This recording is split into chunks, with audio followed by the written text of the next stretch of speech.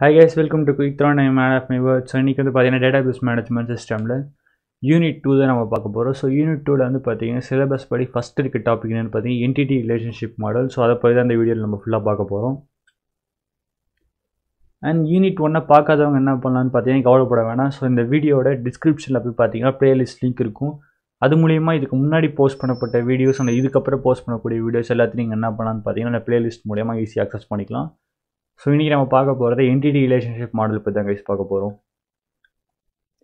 Okay first நம்ம வந்து ஒரு வெல் டிசைன்டு டேட்டா பேஸ்னால் என்ன இருக்கணும் அப்படின்னு கேட்டிங்கன்னா மேஜராக டூ திங்ஸ் இருக்கணும். ஒரு வெல் டிசைன்டு டேட்டா பேஸ்னால் ஸோ ஒன்று வந்து பார்த்தீங்கன்னா எலிமினேஷன் ஆஃப் டேட்டா ரிடண்டன்சி இன்னொன்று வந்து ensure the data integrity and accuracy so elimination of data redundancy அப்படின்னா என்னென்னு கேட்டிங்கன்னா அந்த same pieces of piece of data shall not be stored in more than one place this is because duplicate data not only waste storage space but also easily leads to inconsistencies. For example நீங்கள் என்ன சொல்லலாம் அப்படின்னு பார்த்தீங்கன்னா yeah so இப்போ ஒரு data பேஸில் வந்து பார்த்தீங்கன்னா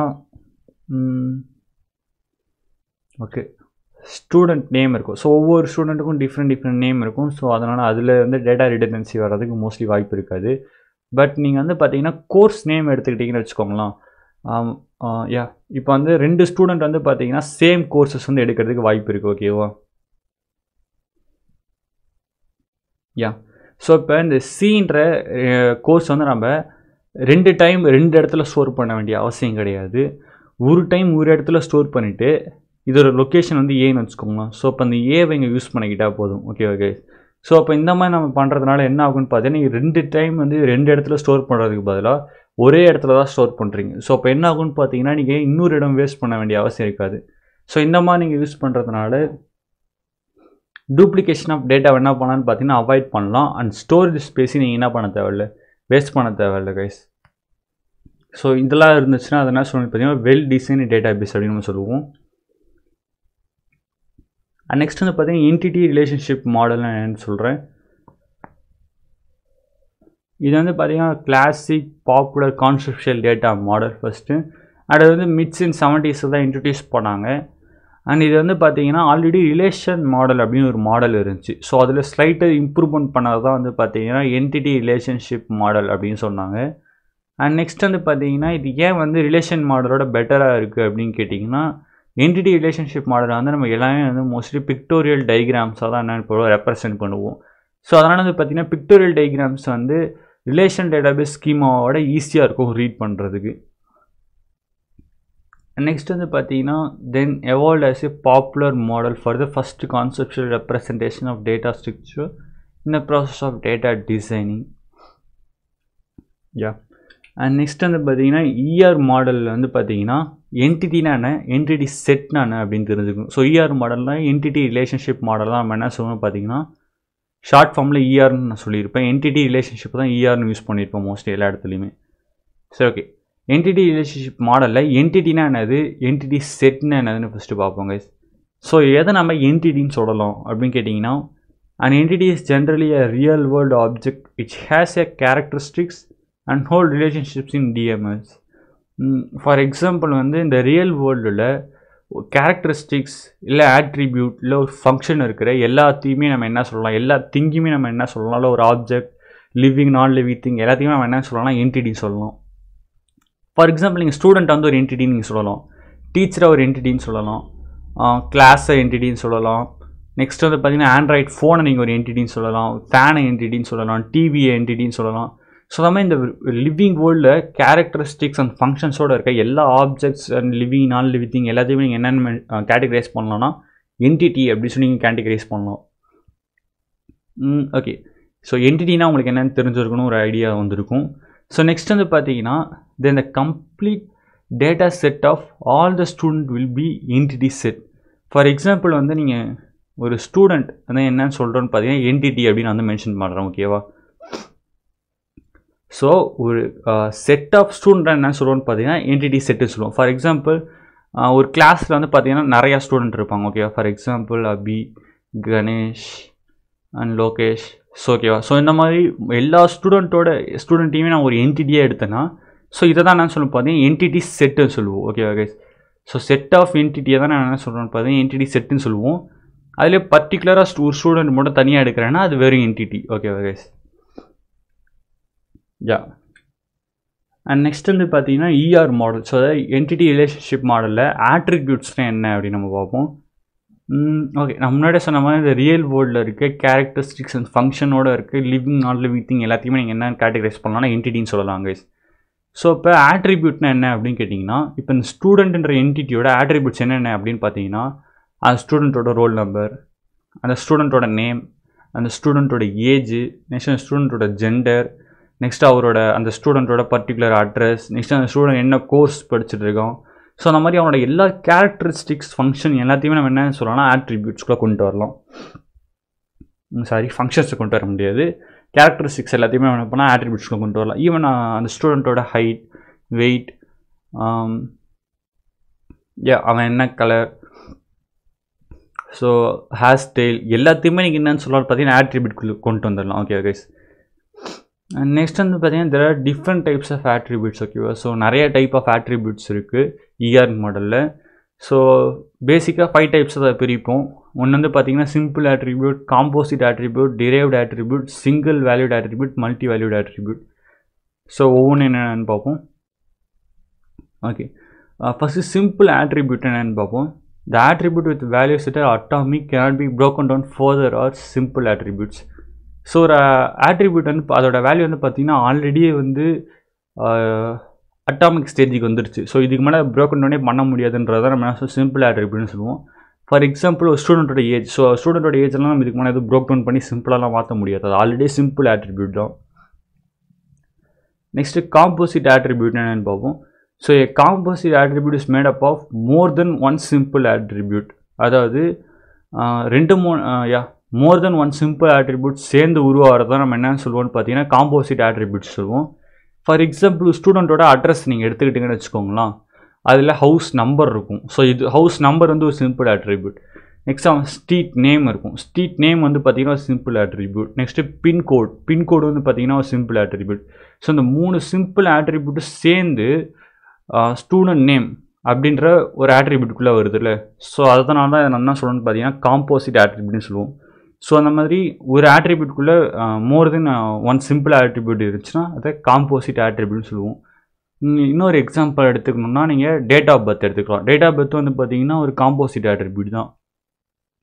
Because if for example yeah இந்த ஆட்ரிபியூட் நீங்கள் எடுத்துக்கிட்டீங்கன்னு வச்சுக்கோங்களேன். இது வந்து டேட் ஆஃப் பர்த் ஓகேவா ஸோ அந்த டேட் ஆஃப் பர்த்ன்ற அந்த ஆட்ரிபியூட் நீங்கள் எடுத்துக்கிட்டிங்கன்னா இதில் டேன்ற ஒரு சிம்பிள் ஆட்ரிபியூட் இருக்குது மந்த் ஒரு சிம்பிள் ஆட்ரிபியூட் இருக்குது நெக்ஸ்ட் இயர்னு சொல்லி ஒரு சிம்பிள் ஆட்ரிபியூட் இருக்குது ஸோ அப்போ இதில் வந்து more than one simple attribute கடந்து தான் இந்த டேட் ஆஃப் பர்த்ன்ற ஆட்ரிபியூட்டை கிரியேட் பண்ணுது. ஸோ அப்போ டேட் ஆஃப் பர்த்ன்றது பார்த்தீங்கன்னா ஒரு composite attribute okay guys yeah புரிஞ்சிருக்கும்னு நினைக்கிறேன்.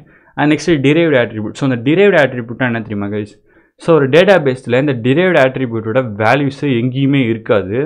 பட் நீங்கள் அதை என்ன பண்ணலான்னு பார்த்தீங்கன்னா மற்ற ஆட்ரிபியூட்ஸ்லேருந்து இந்த டிரைவ்டு ஆட்ரிபியூட்ஸ்க்கான வேல்யூவை நீங்கள் டிரைவ் பண்ணலாம். ஃபார் எக்ஸாம்பிள் வந்து நீங்கள் டேட்டா பேஸ் இப்போ ஸ்டூடெண்ட் டேட்டா பேஸ்லேருந்து பார்த்தீங்கன்னா அவங்களோட டேட்டா பர்த் இருக்கும். பட் அவங்களோட ஏஜை நீங்கள் என்ன பண்ணியிருக்க மாட்டாங்க? அப்படின்னு பார்த்தீங்கன்னா ஒத்துமொத்த டேட்டா பேஸ்லையுமே ஸ்டூடெண்டோட ஏஜை உங்களால் எங்கேயுமே என்ன பண்ண முடியாது கண்டுபிடிக்க முடியாது ஏன்னா ஸ்டோர் பண்ணியிருக்க மாட்டாங்க. பட் நீங்கள் அதை என்ன பண்ணலான்னு பார்த்தீங்கன்னா டிரைவ் பண்ணலாம் for example yeah two thousand டுவெண்ட்டியில் வந்து பார்த்தீங்கன்னா ஒருத்தன் பிறந்திருக்காரு ஒரு ஸ்டூடெண்ட் அப்படின்றப்ப நீங்கள் என்ன பண்ணலன்னா இப்போ ப்ரெசன்ட் இயர் என்ன இருக்குது அப்படின்னு போட்டு மைனஸ் பண்ணி அவரோட ஏஜ் என்ன பண்ணான்னு பார்த்தீங்கன்னா எக்ஸாக்ட் ஏஜை நீங்கள் கண்டுபிடிக்கலாம் கைஸ் ஸோ அப்போ இந்த ஏஜ்ன்றது தான் வந்து பார்த்தீங்கன்னா டிரைவ் ஆட்ரிபியூட்ஸ் ஓகேவா ஸோ அந்த மாதிரி ஆல்ரெடி டேட்டா பேஸில் இருக்கிற ஆட்ரிபியூட்ஸோட வேல்யூலேருந்து நம்ம டிரைவ் பண்ணி எடுத்தோன்னா ஸோ அதுதான் வந்து பார்த்தீங்கன்னா டிரைவ்டு ஆட்ரிபியூட்ஸ் சொல்லுவாங்க. அண்ட் இது சிங்கிள் வேல்யூட் ஆட்ரிபியூட்ஸ் வந்து பார்த்தீங்கன்னா ஒரு ஆட்ரிபியூட்டுக்கு சிங்கிள் வேல்யூ இருந்துச்சுன்னா அது என்ன சொல்லுவோம்னா single valued attribute multi valued ஆட்ரிபியூட்னா ஒரு ஆட்ரிபியூட்டுக்கு மல்டிபிள் வேல்யூஸ் இருந்துச்சா மல்டி வேல்யூ ஆட்ரிபியூட் சொல்லலாம்.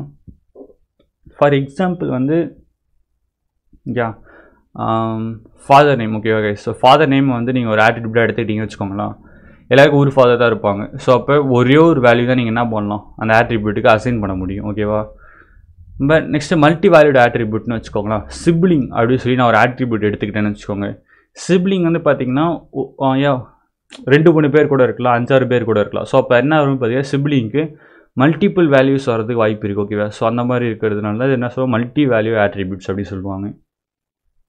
ஓகே கைஸ் இவ்வளோ தான் ஆட்ரிபியூட்ஸ் அண்ட் நெக்ஸ்ட் வந்து பார்த்தீங்கன்னா ரிலேஷன்ஷிப் ஸோ என்டிட்டி ரிலேஷன்ஷிப் மாடலில் ரிலேஷன்ஷிப்ஸ் என்னன்னு சொல்லி பார்ப்போம் கைஸ் ஸோ ஒரு என்டிட்டியும் இன்னொரு என்டிட்டியும் நம்ம கனெக்ட் பண்ண யூஸ் பண்ணுறோம்ல ஸோ அந்த கனெக்ஷன் தான் நம்ம வந்து இதில் என்னென்னு சொல்லணும்னு பார்த்தீங்கன்னா ரிலேஷன்ஷிப் அப்படின்னு நம்ம சொல்கிறோம் ஓகே கைஸ் அண்ட் நெக்ஸ்ட் வந்து பார்த்தீங்கன்னா ஃபார் எக்ஸாம்பிள் நீங்கள் என்ன எடுத்துக்கலான்னு பார்த்தீங்கன்னா ஐயோ ஒரு கிளாஸ்ன்றது என்டிட்டியாக எடுத்துக்கோங்க.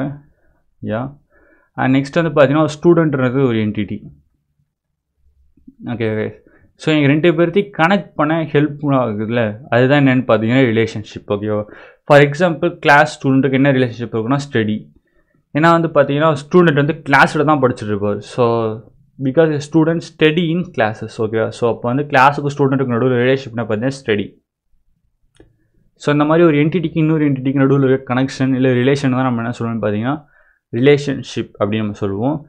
Next depending அப்பான number of entity involves so எத்தனை என்டிட்டி வந்து கனெக்ட் ஆகிருக்கோ அதை பொறுத்து என்ன ஆகும்னு பார்த்தீங்கன்னா அந்த டிகிரிஸ் அசைன் டு ரிலேஷன்ஷிப் அது பார்த்திங்கன்னா சேஞ்ச் ஆகும். ஃபார் எக்ஸாம்பிள் வந்து இப்போ ரெண்டு என்டிட்டி தான் இருக்குன்னு வச்சுக்கோங்களேன். ஸோ இந்த ரெண்டு என்டிட்டி தான் கனெக்ட் ஆகிருக்குன்னா ஸோ அப்போ இதை வந்து நம்ம என்ன சொல்லுவோம்னு பார்த்தீங்கன்னா பைனரி ரிலேஷன்ஷிப் சொல்லுவோம். இப்போ two entities are involved it is set to be a binary relationship இதுவே வந்து மூணு என்டிட்டி வந்து கனெக்ட் ஆகிருந்தேன்னு வச்சுக்கோங்களேன். So if three entities are involve is set to be a ternary relationship okay okay yeah and next working with ER diagram so அந்த ER டைக்ராம்னால் என்ன ஹெல்ப்ஃபுல்லாக இருக்கும் அப்படின்னு பார்த்தீங்கன்னா யா. நம்ம டேட்டாவை வந்து எப்படி ஒரு டேட்டா இன்னொரு டேட்டாவும் ரிலேட் ஆகிருக்குன்றத டிஸ்கிரைப் பண்ணுறதுக்கு ஹெல்ப்ஃபுல்லாக இருக்கிறது வந்து பார்த்திங்கன்னா இந்த இஆர் டைக்ராம் அதுவும் இது வந்து பார்த்திங்கன்னா விஷுவல் ரெப்ரசன்டேஷன் டைக்ராம்லேயே விஷுவல் ரெப்ரசன்டேஷன் தான். And next in ER diagram we disintegrate the data into entities, attributes and relationship yeah நம்ம டேட்டா வந்து இதில் ஸ்ட்ரெயிட்டாக மென்ஷன் பண்ண மாட்டோம். ஸோ நம்ம இதில் டேட்டாவை எப்படி வந்து பிரிக்கிறோம் அப்படின்னு பார்த்தீங்கன்னா இஆர் மாடலில் டேட்டாவை வந்து நம்ம என்டிட்டியாகவும் ஆட்ரிபியூட்டாகவும் அண்ட் ரிலேஷன்ஷிப்பாகவும் நம்ம என்ன பண்ணுறோம்னு பார்த்தீங்கன்னா பிரித்து அதை ரெப்ரசன்ட் பண்ணுறோம் டைக்ராமாக ஸோ அந்த மாதிரி நம்ம வந்து ரெப்ரசன்ட் பண்ணுறப்ப தான் அது என்னன்னு சொல்கிறோம் பார்த்தீங்கன்னா இஆர் டைக்ராம்னு சொல்லுவோம். ஸோ இஆர் டைக்ராமோட காம்போனன்ஸ் என்னென்ன அப்படின்னு கேட்டிங்கன்னா மெயின் காம்போனன்ஸ் வந்து entity attribute relationship so entity attribute relationship இருக்குது எல்லா டைக்ராமுமே நம்ம என்ன சொல்லணும் பார்த்தா இஆர் டைக்ராம்னு சொல்கிறோம் அண்ட் நெக்ஸ்ட் வந்து பார்த்தீங்கன்னா அந்த டைக்ராமில் ஒவ்வொன்றுத்தையும் வந்து பார்த்தீங்கன்னா ஒவ்வொரு ஷேப் மூலயமா தான் ரெப்ரசென்ட் பண்ணுவோம். ஃபார் எக்ஸாம்பிள் நம்ம என்டிட்டியை மென்ஷன் பண்ணுறதுக்கு ஒரு ஷேப் யூஸ் பண்ணுவோம். ஆட்ரிபியூட்டிக்கு ஒரு ஷேப் யூஸ் பண்ணுவோம். ரிலேஷன்ஷிப்பை மென்ஷன் பண்ணுறதுக்கு ஒரு ஷேப் யூஸ் பண்ணுவோம். ஸோ ஃபார் எக்ஸாம்பிள் நீங்கள் வந்து என்டிட்டி எடுத்துக்கிட்டிங்கன்னா நம்ம என்டிட்டி ரிலேஷன்ஷிப் மாடலில் நம்ம என்டிட்டி வந்து எப்படி ரெப்ரசென்ட் பண்ணணும்னு பார்த்தீங்கன்னா சிம்பிள் ரெக்டாங்குலர் பாக்ஸ் யூஸ் பண்ணி நம்ம என்டிட்டியை ரெப்ரசென்ட் பண்ணுவோம். ஃபார் எக்ஸாம்பிள் இங்கே ஸ்டூடெண்ட்டுன்ற என்டிட்டிக்கு வந்து பார்த்தீங்கன்னா நம்ம ரெக்டாங்குலர் பாக்ஸ் யூஸ் பண்ணியிருக்கோம். ஸோ அப்போ இது ஒரு என்டிட்டி நெக்ஸ்ட் சப்ஜெக்ட் வந்து ரெக்டாங்குலர் பாக்ஸில் இருக்குது ஸோ அப்போ இது ஒரு என்டிட்டி நெக்ஸ்ட் என்ன சொல்லலாம்னு பார்த்தீங்கன்னா ஆண்ட்ராய்ட் ஃபோன் ஆண்ட்ராய்டு அப்படின்னு நான் சொல்கிறேன் இதை எப்படி என்டிட்டினா இது இது வந்து நான் சிம்பிள் ரெக்டாங்குலர் பாக்ஸில் மென்ஷன் பண்ணலாம் இது ஒரு என்டிட்டி ஓகே ஸோ இந்த மாதிரி நீங்கள் என்டிட்டி எல்லாத்தையும் நம்ம எதில் மென்ஷன் பண்ணணும்னு பார்த்தா சிம்பிள் ரெக்டாங்குலர் பாக்ஸில் வந்து மென்ஷன் பண்ணுவோம். அண்ட் நெக்ஸ்ட் ரிலேஷன்ஷிப் பிட்வீன் என்டிட்டிஸில் வந்து பார்த்தீங்கன்னா டூ டைப்ஸ் ஆஃப் ரிலேஷன்ஷிப் இருக்கும். ஒன்று வந்து வீக் இன்னொன்று ஸ்ட்ராங்னு சொல்லுவாங்க. ஸோ அதை நான் நெக்ஸ்ட் வீடியோவில் ரெண்டுத்துக்கு இருக்கிற ரெண்டுத்துக்கு டெஃபினேஷன் நான் சொல்கிறேன் ஸோ ரிலேஷன்ஷிப் இதில் எப்படி நம்ம மென்ஷன் பண்ணோம்னு பார்த்தீங்கன்னா ராம்பஸ் யூஸ் பண்ணுவோம் கைஸ் ஓகேவா ஸோ ஸ்ட்ராங் ரிலேஷன்ஷிப்பை நம்ம வந்து என்ன யூஸ் பண்ணோம்னு பார்த்தீங்கன்னா ராம்பஸ் யூஸ் பண்ணுவோம். அதே வீக் ரிலேஷன்ஷிப்புக்கு ஒரு ராம்பஸ் வரைஞ்சி அதுக்குள்ளே இன்னும் ஒரு ராம்பஸ் வரைவோம். ஃபார் எக்ஸாம்பிள் எப்படி இருக்கும் அப்படின்னு கேட்டிங்கன்னா இது வந்து கிளாஸு இது வந்து ஸ்டூடெண்ட்ன்ற என்டிட்டி ஓகே கை ஸோ இவங்களுக்கு நடுவில் இருக்கிற ரிலேஷன்ஷிப்பை நம்ம எப்படி மென்ஷன் பண்ணுவோம் அப்படின்னு பார்த்தீங்கன்னா இந்த மாதிரி ஒரு ராம்பஸ் வரைஞ்சி இதை கனெக்ட் பண்ணியிருப்போம். ஓகே ஓகே ஸோ இந்த மாதிரி இருந்துச்சுன்னா இதை தான் நம்ம என்ன சொல்லுவோம்? அடிப்பதே ரிலேஷன்ஷிப்னு சொல்லுவோம். ஓகே ஓகே ஸோ இதுவே நீங்கள் வந்து உள்ளே இன்னொரு ராம்பஸ் வரைஞ்சிங்கன்னா அது வந்து weak relationship okay okay yeah and next ஆட்ரிபியூட்ஸாக நீங்கள் எப்படி ரெப்ரசென்ட் பண்ணுவோம் அப்படின்னு பார்த்தீங்கன்னா எலிப்ஸ்லாம் ரெப்ரசென்ட் பண்ணும். ஃபார் எக்ஸாம்பிள் புக்குன்றது ஒரு entity so author and data data பப்ளிஷ்ன்றது அதோட ஆட்ரிபியூட்ஸ் ஸோ அப்போ அதை எப்படி கனெக்ட் பண்ணியிருக்காங்க பாருங்க. ஸோ ஓகே அதில் கனெக்ஷனை மறக்காதீங்க பிகாஸ் ஒவ்வொரு என்டிட்டியும் அதோட ஆட்ரிபியூட் கூட நம்ம கனெக்ட் பண்ணிடணும் எப்பயுமே. ஓகே ஓகே ஸோ ஆட்ரிபியூட்ஸ் வந்து எலிப்ஸ்குள்ளே மென்ஷன் பண்ணியிருப்பாங்க. உங்களுக்கு பார்த்தாலே தெரியும் நம்புகிறேன் அண்ட் நெக்ஸ்ட் என்டிட்டி இருக்காங்க. ஸோ என்டிட்டிலே வந்து பார்த்தீங்கன்னா வீக் என்டிட்டி ஸ்ட்ராங் என்டிட்டின்னு டூ டைப் ஆஃப் என்டிட்டிஸ் இருக்குது என்டிட்டிலையுமே ஸோ வீக் என்டிட்டி வந்து பார்த்தீங்கன்னா சிம்பிள் ரெக்டாங்குலர் பாக்ஸ் போட்டு அதுக்குள்ளே இன்னொரு இன்னொரு ரெக்டாங்குலர் பாக்ஸ் இருந்துச்சுன்னா அது வீக் என்டிட்டி அதுவே வெறும் சிம்பிளாக ஒரு ரெக்டாங்குலர் பாக்ஸ் இருந்துச்சுன்னா ஸ்ட்ராங் என்டிட்டி ஸோ ரெண்டுத்துக்கு இருக்க மெயின் டிஃப்ரென்ஸ் என்ன அப்படின்னு கேட்டிங்கன்னா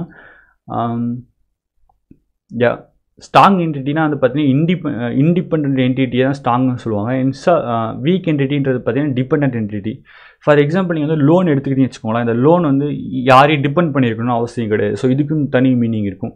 பட் நீங்கள் இன்ஸ்டால்மெண்ட்டுன்ற அந்த என்டிட்டி எடுத்துக்கிட்டிங்கன்னு வச்சுக்கோங்களேன் இது தனியாக எந்த ஒரு மீனிங்குமே தெரியாது. எதுக்கான இன்ஸ்டால்மெண்ட் என்ன இன்ஸ்டால்மெண்ட் எவ்வளோ கட்டணும் எதுக்கான தடி எத் எந்த ஒரு இன்ஃபர்மேஷனுமே இது இருக்காது ஓகேவா பட் இதுவே நீங்கள் இதை லோன் கூட கனெக்ட் பண்ணீங்கன்னு வச்சுக்கோங்களேன் அப்போ தான் இதுக்கு என்ன கிடைக்குது? இந்த இன்ஸ்டால்மெண்ட்டுன்றதுக்கான மீனிங்கே நமக்கு தெளிவாக புரியும். ஸோ அப்போ இந்த இன்ஸ்டால்மெண்ட்டுன்ற என்டிட்டி இந்த லோனுன்ற என்டிட்டி என்ன இருக்குன்னா டிபெண்ட் பண்ணியிருக்கு கனெக்டில் இருக்குது ஓகேவா ஸோ அந்த மாதிரி இருக்கிறத தான் நம்ம என்ன சொல்லுவோம்னு பார்த்தீங்கன்னா வீக் என்டிட்டி சொல்லுவோம். ஸோ ஒரு ஒரு என்டிட்டி இன்னொரு என்டிட்டி டிபெண்ட் பண்ணி இருந்துச்சுன்னா அந்த என்டிட்டி நம்ம என்ன சொல்லுவோம்? வீக் என்டிட்டி அப்படின்னு நம்ம சொல்லுவோம். ஸோ இண்டிபெண்ட்டாக இருந்துச்சுன்னா அது வந்து இண்டிபெண்ட் என்டிட்டி இல்லை இப்படி சொல்லலாம். ஒரு என்டிட்டி இன்னொரு என்டிட்டி கூட கரண்ட்டாக இருந்ததுன்னா அது வந்து வீக் என்டிட்டின்னு சொல்லலாம். ஸோ எந்த ஒரு என்டிட்டியும் கரெக்டாக இருக்கிற ஸ்ட்ராங் என்டிட்டின்னு கூட சொல்லலாம் guys okay and next key attribute okay ஒரு என்டிட்டியோட கீ ஆட்ரிபியூட் எப்படி டிக்ளேர் பண்ணணும்னு பார்த்தீங்கன்னா எலிப்ஸ்குள்ளே தான் நம்ம ஆட்ரிபியூட்டை டிக்ளேர் பண்ணுவோம். அண்ட் அது கூட வந்து அண்டர் ஸ்கோர் அதான் அண்டர்லைனை யூஸ் பண்ணிக்கிட்டிங்கன்னா அதுதான் கீ ஆட்ரிபியூட் ஃபார் இது கீ ஆட்ரிபியூட் நம்ம எதை சொல்லுவோம் அப்படின்னு பார்த்தீங்கன்னா இப்போ ஸ்டூடெண்ட்ன்றது ஒரு என்டிட்டின்னு வச்சுக்கோங்களேன். ஸ்டூடெண்ட்டோட நேமு நெக்ஸ்ட்டு அவனோட ஏஜ் இதான் வந்து நார்மல் ஆட்ரிபியூட் ஸோ நம்ம கீ ஆட்ரிபியூட் சொல்லுவோம்னா இப்போ ஸ்டூடெண்ட்டோட ரோல் நம்பர் ஓகே ஸோ அந்த ரோல் நம்பர் வந்து பார்த்தீங்கன்னா யூனிக் அந்த ஸ்டூடெண்ட் தவிர வேறு யாருக்குமே எனக்கு இந்த இந்த சேம் ரோல் நம்பர் இருக்கவே இருக்கா ஸோ வந்து இவனு இவ- இவரோட யூனிக் ஃபீச்சரோட ஒன்று ஓகேவா ஸோ அந்த மாதிரி யூனிக் ஐட்டம்ஸ் தான் என்ன சொல்லுவோம் பார்த்தீங்கன்னா கீ ஆட்ரிபியூட் கூட மென்ஷன் பண்ணுவோம். ஸோ கீ ஆட்ரிபியூட்டை மென்ஷன் பண்ணுறதுக்கு எலிப்ஸ் போட்டு அந்த கீ ஆட்ரிபியூட்டில் அண்டர் ஸ்கோர் யூஸ் அதான் யூஸ் பண்ணிங்கன்னா அதான் கீ ஆட்ரிபியூட் அண்ட் நெக்ஸ்ட் வந்து பார்த்தீங்கன்னா டிரைவ்ட் ஆட்ரிபியூட் நம்ம எப்படி டிக்ளேர் பண்ணுவோம் அப்படின்னு பார்த்தீங்கன்னா எலிப்ஸு அண்ட் இன்னர் எலிப்ஸ் தான் டாட்டரில் மென்ஷன் பண்ணிங்கன்னா அதுதான் டிரைவ்ட் ஆட்ரிபியூட் வந்து மென்ஷன் ரெப்ரசென்ட் பண்ணுறது மல்டி வேல்யூடு ஆட்ரிபியூட்ஸ் எப்படி uh, ரெப்ரசென்ட் பண்ணோம் அப்படின்னு பார்த்தீங்கன்னா டைக்ராமேட்டிக்கில் டபுள் எலிப்ஸ் யூஸ் பண்ணிங்கன்னா ஸோ அதுதான் வந்து பார்த்தீங்கன்னா multi valued attributes and next composite ஆட்ரிபியூட்ஸ்க்கு இந்த மாதிரி டிக்ளேர் பண்ணுவோம். For example yeah date of birth அப்படின்றது ஆட்ரிபியூட்டு ஸோ இது எலிப்ஸு அண்ட் இது பார்த்தீங்கன்னா இன்னொரு எலிப்ஸ் கூட இருக்குது டேட்டு அண்ட் நெக்ஸ்ட் இன்னொரு எலிப்ஸு இன்னொரு சிம்பிள் ஆட்ரிபியூட்டு ஸோ இந்த இடத்துல மந்த்து அண்ட் நெக்ஸ்ட் இன்னொரு ஆட்ரிபியூட் கூட இருக்குது இந்த இடத்துல வந்து பார்த்தீங்கன்னா இயர் ஸோ இந்த மாதிரி வந்து பார்த்தீங்கன்னா ஒரு ஆட்ரிபியூட் இன்னொரு ஆட்ரி இன்னும் மல்டிபிள் ஆட்ரிபியூட்ஸ் கூட கரெக்டாக இருந்துச்சுன்னா அதை நான் என்ன சொல்லுவேன் காம்போசிட் ஆட்ரிபியூட்ஸ்னு சொல்லுவோம். ஸோ இப்படி தான் மென்ஷன் பண்ணுவோம் கைஸ் ஓகே தேங்க்ஸ் ஃபார் வாட்சிங் வீடியோ லவ் கைஸ் இன்னொரு வீடியோ பண்ணுவோம். நெக்ஸ்ட் வீடியோவில் நம்ம என்ன கான்செப்ட் பார்க்க போகிறோம் அப்படின்னு பார்த்தீங்கன்னா இஆர் டயக்ராம்ஸ் பற்றி தான் பார்க்க போகிறோம் கைஸ் அண்ட் தேங்க்ஸ் ஃபார் வாட்சிங் வீடியோ லவ் கைஸ்